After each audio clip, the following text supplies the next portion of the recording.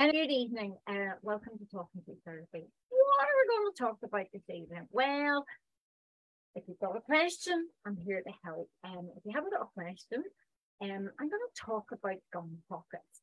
So, what do I mean by a gum pocket? Well, I basically, I'm going to sort of keep this fairly broad. I mean the space between your gum and your tooth. Now, in health, you have a little crevice at the neck of your tooth which is about two to three millimeters. So it's a little crevice. It's a bit like just underneath your nail. It's okay, you know, but you've got that little bit.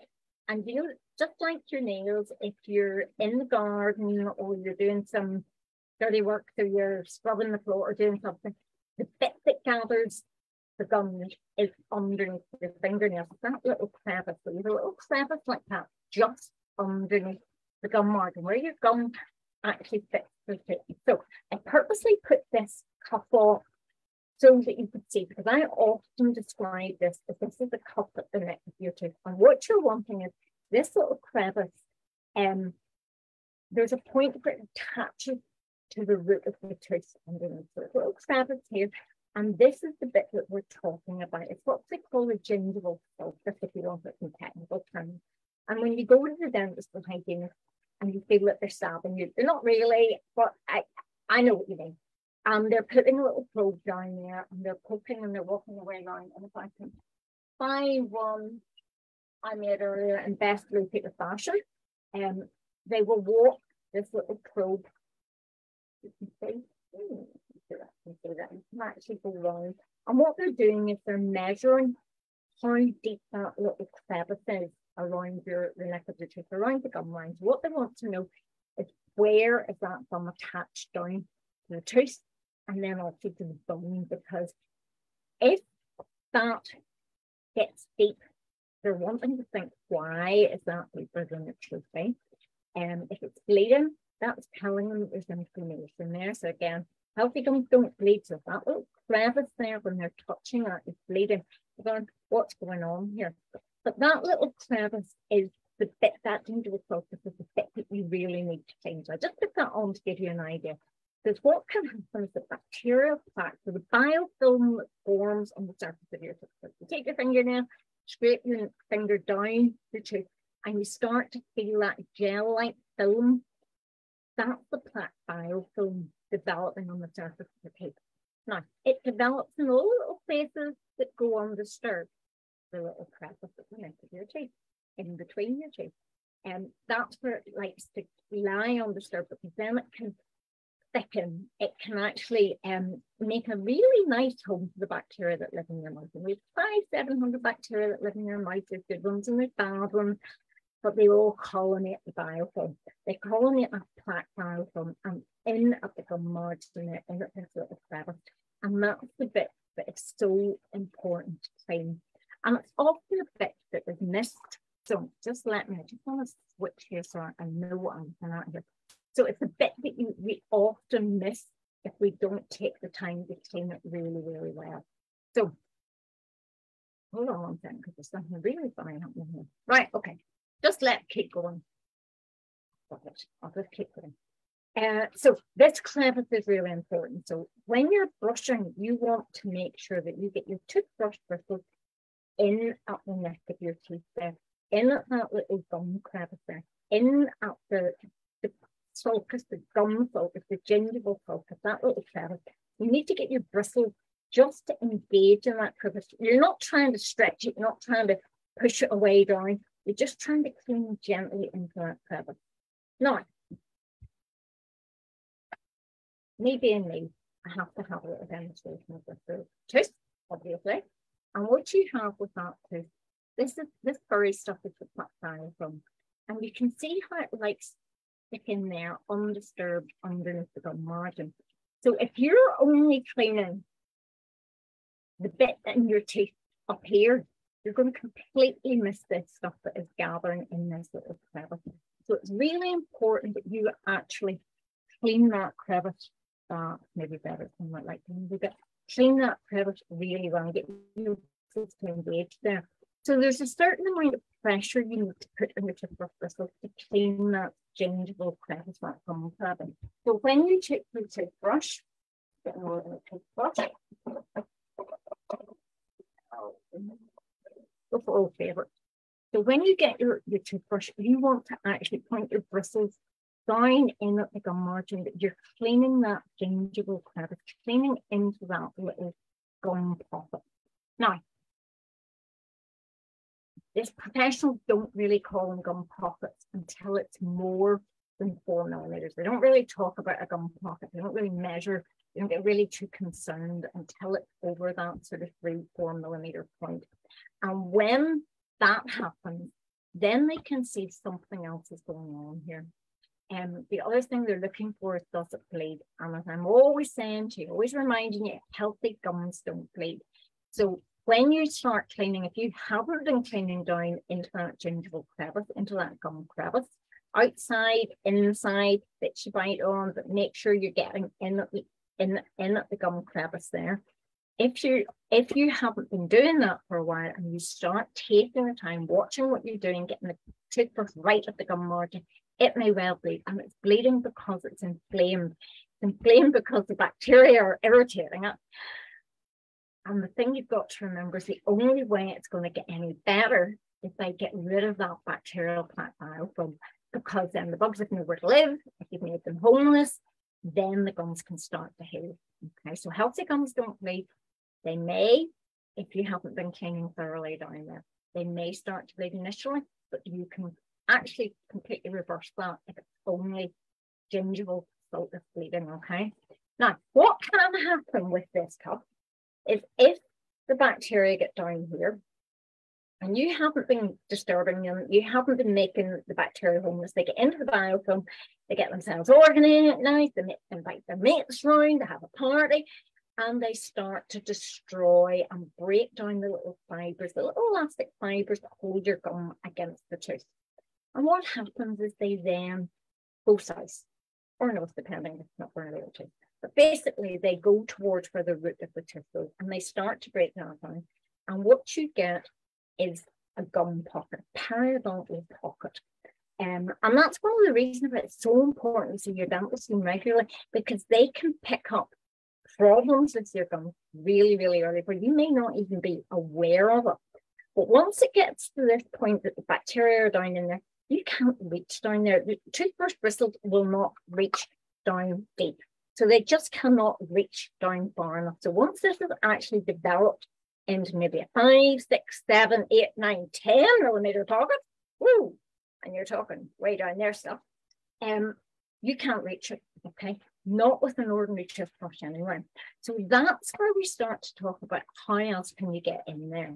Now, gum disease, gum inflammation is one reason that you can get a space. The other time that you might find a space between the gum and the tooth is if you have another tooth erupting behind it.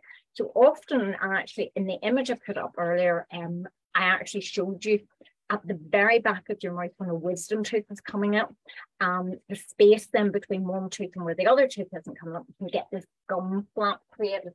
So let me show. Okay, so what you have there is you can see that partly erupted wisdom tooth in behind here. Now the gum tissue then becomes sort of loose around that. And what happens is you can end up with that becoming really inflamed, really difficult to clean. Bacteria gets stuck in there. Um, it's being missed with the toothbrush because if you think about it, when you take a toothbrush, and you go like that, you're not getting in there unless you're tipping the toothbrush. Or better still, as you go around there, swing the toothbrush sideways so you're getting in at that. So you're cleaning in around that gum crevice. Better still, what you want to use is actually uh, a single tufted brush. Now, single tufted brushes come in a variety of sizes. Um, so here's some of them.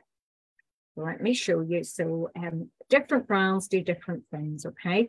Most of them are this sort of thickness, if you want to look at the bristles. So they're, they're quite chunky. Stubby is what probably the term I would use, the stubbiness of those. Some are pointed, some are blunt. You've got this one, this is a, a TePe, this is actually an implant brush, but they've got longer bristles and they're quite soft. Now that can be really, really useful if you want to get deep in here. So let me do it this sideways. So you can get in there and you can get in right down in that. And can you see the way the bristles then actually start to splay underneath the gum there? And that's what you're trying to do when we talk about actually cleaning into gum pockets. You spread the bristles down and underneath the gum margin. But the one that you really want, if you have that five, six, seven, eight, nine, 10 millimeter gum pocket, periodontal pocket, is this boy here. This is what's called a super slim brush. And you can see the difference between those two is actually two things, the length of the bristles and also how much thinner they are. And what this does then is this allows you to get right down in underneath the gum. So what you want to do is get the bristles right down in here. And you will find they will go as far down as you actually can reach. So, I mean, if you've got 10 millimeter pocket, you may not get to the bottom of it, but if you've had that cleaned out by a hygienist or a therapist or a gum specialist or and, and just any member of the dental team, if they have cleaned this area out and said you need to be really careful about your oral hygiene and get that clean, if you start cleaning that from day one, right down in there, you can actually keep those root surfaces, which are now exposed to the elements of your mouth, which they wouldn't have been otherwise because they were covered by the gum tissue um, you can actually clean right down into that. And you can work your way around. I mean, we've got a, there's a, a notes on the website um, about single tufted brushing. I think there's actually a blog post about it, but it's the same basic principle, but with this, you're actually getting right down underneath the gum margin.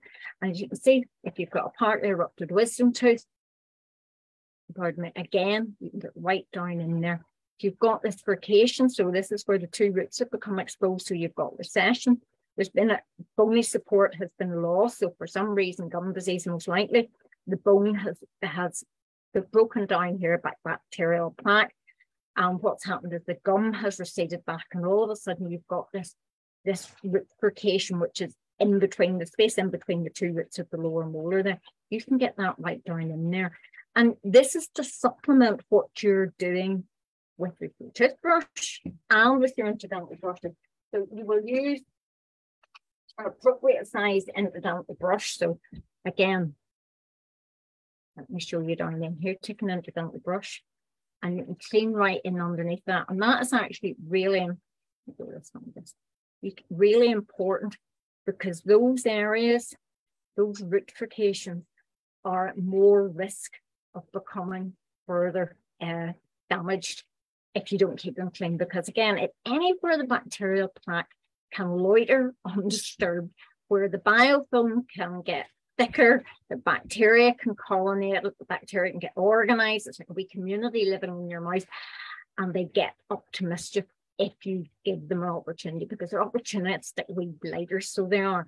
So what you want to do is make sure that you're breaking up that plaque biofilm. So it's that space between the gum and the tooth that gingival sulcus that in health will be in health, it will be two to three millimeters, and you can get at that readily with your toothbrush used down, round, small circular side to side motions. You can see all I'm doing is vibrating the bristle tips.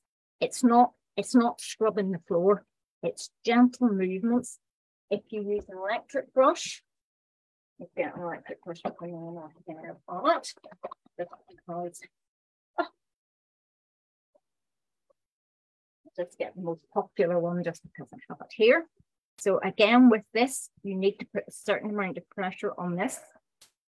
So the bristles get down in at the gum margin. Just get it down there so you can see the bristles splay out. Go this one actually, might work. You can see the way the bristles lay out against the gum margin and get into that little crevice. Can you see that? And the big difference between brushing with an, a manual toothbrush and an electric toothbrush is the power. With an electric toothbrush, you just have to set it in place and let it do the work. With a manual toothbrush, you've you've got to actually make the bristles work for you. You've got to get them down in at the crevice and you've got to make them work. Car toothbrush, it moves seven and a half thousand times an or more. And um, you just need to let that sit and do the work for you. And I always, I always say, you know, brushing with an electric toothbrush is actually quite boring because you just move from tooth to tooth. But you can see how that moves in the margin there. Really boring, but it does do it more effectively. So those are the things that we know about gum brushing. It's important that tactile film is your biggest torture. It's one of those things. Let me switch this back to the other camera. Um, way again, and let you see my my old face. Um, but it's important because you want to get that biofilm under control and you want to keep it under control. And it's something we all do for ourselves every single day. And that's important that it's making the time to do it every single day. And it is not the most exciting thing you will do. But my goodness me, it can help not only your oral health and your gum health, it also has huge benefits for your overall health because inflammation in your mouth is connected to inflammation in other parts of your body. And we know there's really strong links with gum inflammation and diabetes, and heart disease, and stroke, and arthritis. So there's a really a lot of um, inflammatory conditions, kidney disease, all these different things that actually connected to inflammation in your mouth. So keeping your mouth, particularly your gums healthy, has benefits elsewhere in your mouth. That's why it's really, really important to keep disturbing and breaking down that biofilm so it doesn't get the chance to mature and the bacteria colonate it and get themselves organized. I often describe bacteria a bit like having children. When they're babies, you put them in one place and they stay put. Then they start to crawl and they get up to a little bit of mischief. Um, and then when they get to teenage years, they like to uh, not have anything to do with uh, home. They like to get their friends round. They like to get organised, and boy, they will get optimistic if you give them the opportunity. So what you don't want to happen is the plaque biofilm in your mouth to be mature enough and there long enough for the bacteria to grow and actually really cause you problems. And how long they have to be there depends on how many types, certain types of bacteria you have, how long they're there, how your body responds to that onslaught from those bacteria. So how much effort one person will have to put in, maybe it'll be very different how much effort somebody else has to put in. And that's really important to remember because we all know somebody who never seems to brush their teeth, never seems to put any time in, and never has a problem. And then there's people at the other end of the spectrum who seem to be forever cleaning their teeth and going to the dentist and having regular professional uh, cleanings and, and all this stuff, and still didn't have a problem. It's it's how your body responds, and it's how your body responds at that time. So when you're young and you're fit and you're well, your body can deal with most things that throws at it. So from a point of view of bacteria and things like that. As we get older, our immune systems don't work so well. So we become more susceptible to inflammation. So as we go we, we may well have to put more effort in. So you may have have got through 20 or 30 years that you've never really had to bother about cleaning in between your teeth. And all of a sudden you go to the dentist uh, or the hygienist therapist and they're saying, well, actually, you know, you've got to do this and you've got to do this every single day if you want to stop gum disease getting the better hand of you. And that's what's really hard because you're trying to change something. Like, you know, it's not natural. We brush our teeth because we've always brushed our teeth.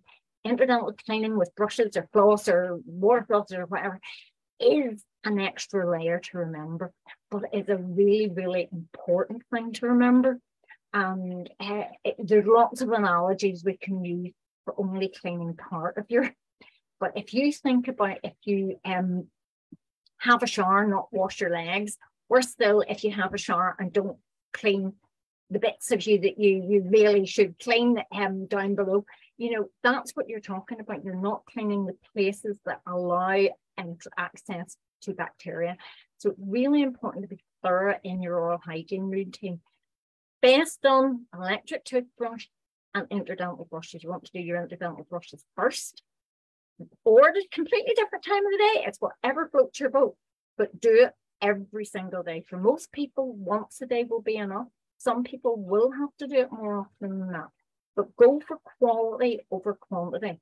So, toothbrushing thoroughly, last thing at night, one other time every single day. And that, if you've got gum inflammation, if your gums are bleeding, it will take you longer than that bare two minutes. And two minutes is an awful lot longer than we think.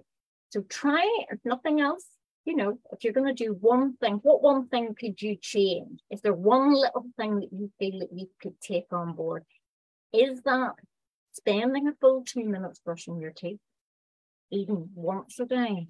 Because that will have the biggest impact because using a toothbrush thoroughly, and I mean every surface of all your teeth, the outside, the inside, the biting surface, around all the gum margins. If you're doing that thoroughly, you will get around 60 to 70% of that biofilm disrupted. That other 30 to 40% is the bit that's stuck in between your teeth, and you need to disrupt that as well. But go for the thing that you feel you can do and get on top of that first before you add in something else. Gum brushing and gum pocket brushing is very much getting underneath that gum margin and you do it with a, uh, as I say, a, a faultless brush. So you can clean those gum margins with a toothbrush, an electric toothbrush. It's going for how you use it more than what you use. So some people will manage absolutely brilliantly with a manual toothbrush. And there's really no justification for them switching. But for most people, they will do a better job with an electric toothbrush, but they need to use the electric toothbrush properly. And that's the big thing. Often the electric toothbrush is not used properly.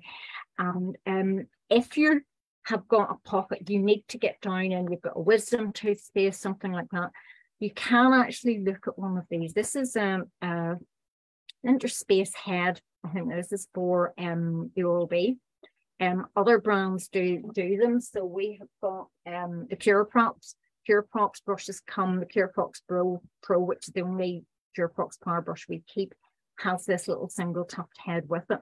And again, with this, what you can do is you can use that down into those gum pockets see. You can see down in there. And if you have a missing tooth, don't forget to clean that surface. You know, these surfaces are going to get missed if you don't actually spend the time and get in round there. So what often happens is somebody will maybe, just because this tooth is falling out, um, somebody has maybe lost a tooth and you're merrily brushing but your toothbrush doesn't actually clean those side surfaces. You need to swing your toothbrush around. And again, it's back to watching what you're doing, spend the time doing it thoroughly, look in the mirror, look in reasonable light, and actually focus on the task in hand. And again, back to that mindful toothbrushing, taking that bit of time to actually spend on yourself and actually feeling the clean. Use your toothbrush dry. Likewise with your single tufted, if you're going to root brush, you can use it dry. You don't need to put anything on it. If you've got a lot of inflammation, what you may want to do is use some of the gels that are specially formulated for that. So there's the likes of, of course, the gel most people are familiar with, but there's things like perio gel um, and Gengigel, which is hyaluronic acid, and it, it is great for actually getting gum inflammation under control. So all those little tips and hints hopefully have given you a little bit of an insight to what you're trying to do is clean the gingival crevice. And what I'm trying to do is clean the gingival crevice, that little area between the gum and the tooth. And that's just standard. Everybody should be cleaning and what we call sulcular technique. So you need to be cleaning that that gum sulcus, that little, just the gum, gum the tooth, make that little crevice and your toothbrush bristles need to be in there and they need to be engaging and they need to be breaking that biofilm down because if you're not getting in there, you're missing a trick and you're actually putting a lot of effort in and not getting a bang for your buck. So you want to get value for the effort you're putting in. Um, do it last thing at night, one other time in the day.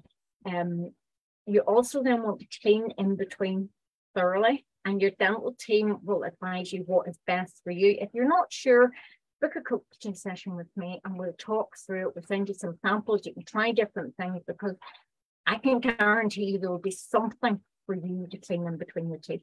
There's so much available now, and there's not one size fits all. For some people, they'll need to use combination, maybe floss, single tufted brush, and a couple of different sizes of dental brushes, but there's something for everybody there.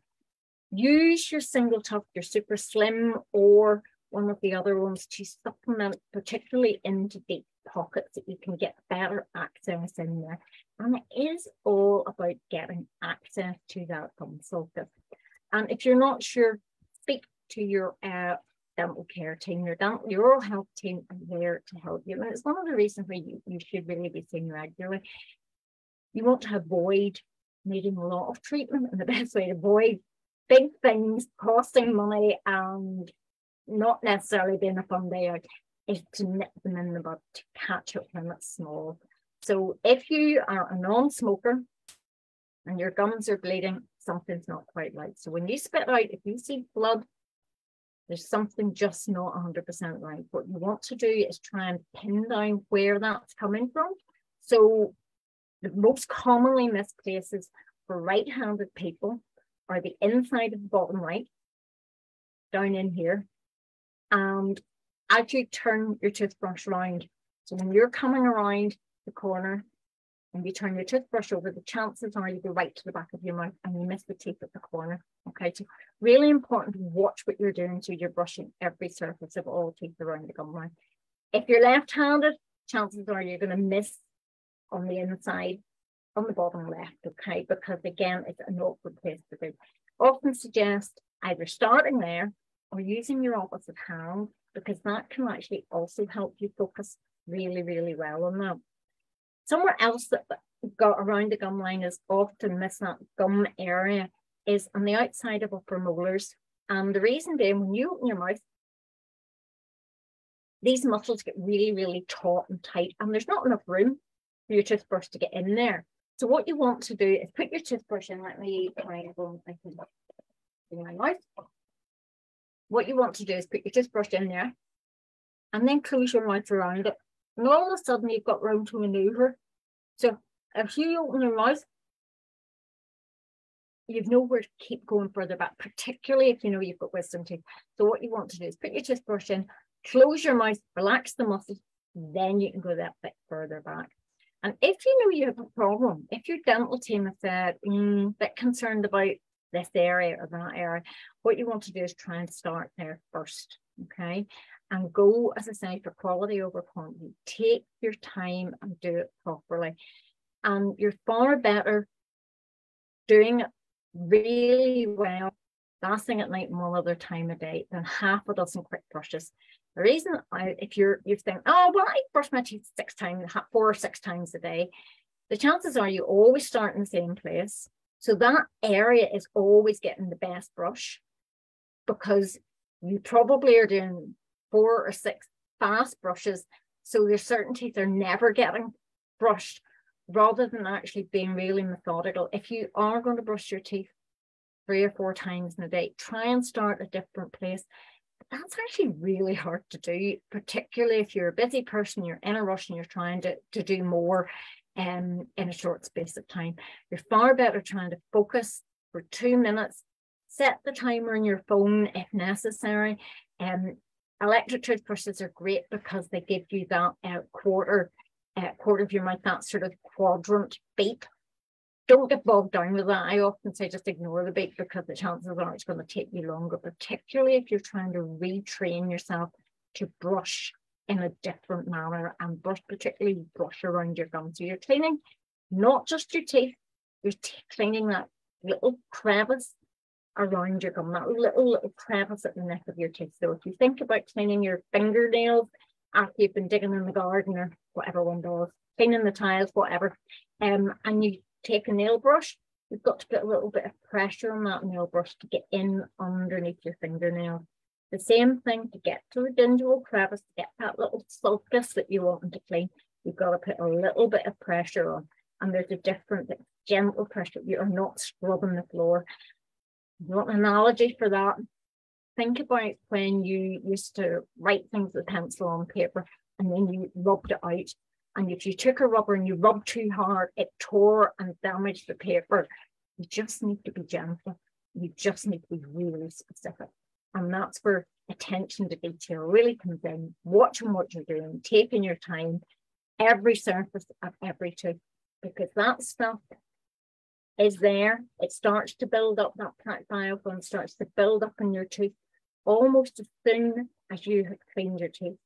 And over a period of time, over a period of course of a day, it gets thicker, it matures. And if your mouth is dry, it will mature more rapidly and the bacteria can get organized faster. So what you want to do is make sure that you are addressing any oral dryness because dry mouth is can lead to increased risk of gum problems, gum inflammation, increased risk of decay. So really important that what you want to do is make sure that you're breaking up this biofilm. Make sure you're using a fluoride toothpaste. And fluoride is not just to strengthen your teeth, uh, which is what we also tend to always think about, but also antibacterial properties.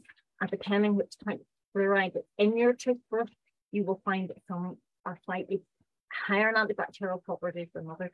But just make sure you, you're maximizing the effort. So pea-sized blob of paste, spread it all around your teeth.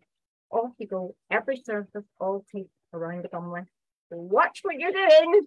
Because uh, saying honestly is believing. And if you're not sure you think your teeth are clean, get yourself some disclosing tablets. It might be a big eye opener um, and actually see where the plaque is. It's not just something kids do.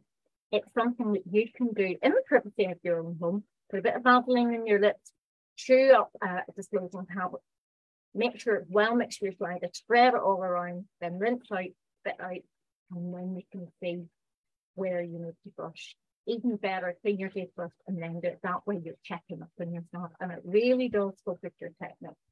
So there you go. That is all from me.